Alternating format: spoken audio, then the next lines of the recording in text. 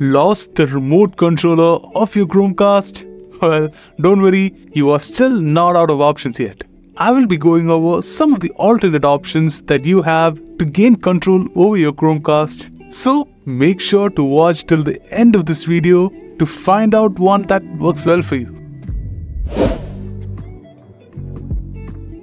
The Google Home app has a dedicated remote controller mode that can enable you to control your Chromecast from the comforts of your smartphone directly. But before setting up your on-screen remote controller, there are quite a few prerequisites that you need to satisfy. Firstly, your Chromecast should already be up and running after setup.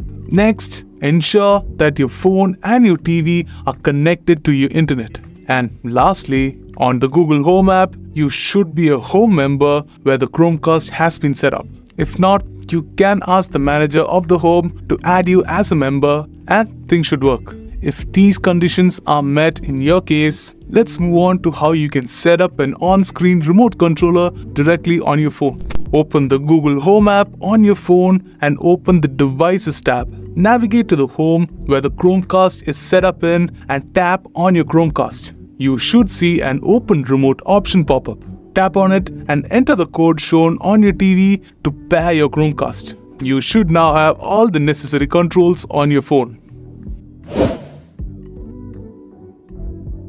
If your TV supports HDMI CEC, which should be supported by most modern TVs, then you can simply use your TV remote to control your Chromecast interface. Now, granted, the control mapping should be basic for most cases and you might have a hard time training your muscle memory in some cases but it should sort out all your necessary needs when it comes to controlling your UI. You can check your TV's user manual or the model number on the internet to see if your TV supports HDMI CEC. But since HDMI CEC is a built-in function and doesn't require any additional setup, the easiest way is to just boot up your Chromecast and check if your TV remote controller can navigate the UI. I recommend that you start with the arrow buttons first and then slowly map out other essential buttons.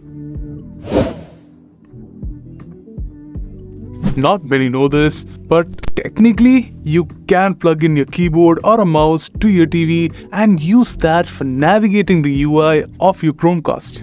TVs usually run an operating system that supports both keyboard and mouse inputs. So when you connect your Chromecast via HDMI, you can exploit the TV, mouse and keyboard input for navigation. Again, this won't work for all TVs, but it is still worth a try, especially if the other methods don't work for you. Simply plug in a mouse or a keyboard to the USB port of your TV and you're good to go. The methods that I've mentioned so far will only work if you already have your Chromecast set up and running.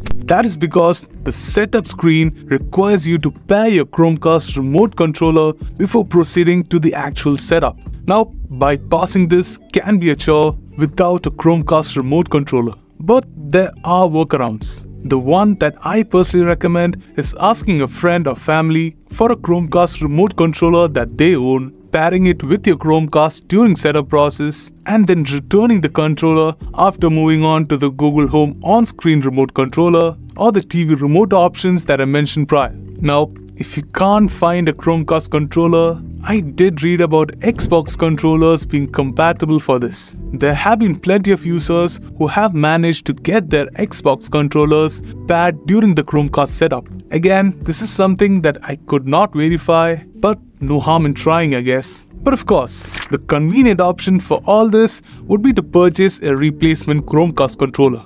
And with that, I believe that I've touched on everything that I wanted to talk about regarding how you can control your Chromecast without your Chromecast controller. If you found this video useful, consider leaving your thoughts below, give us a thumbs up and subscribe to our channel for more interesting Chromecast related content like this.